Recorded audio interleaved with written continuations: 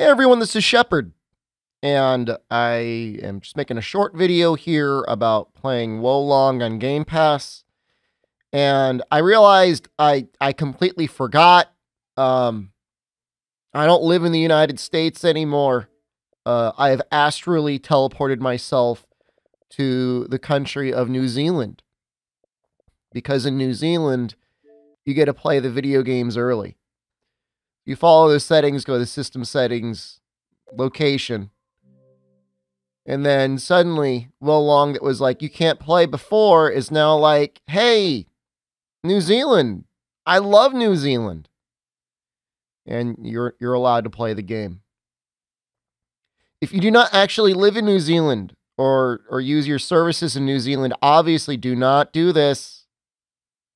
It's a big no-no, but if you've moved to New Zealand recently, and you want to play the game, this is what you need to do. I don't know if it screws anything else up, but everything seems fine.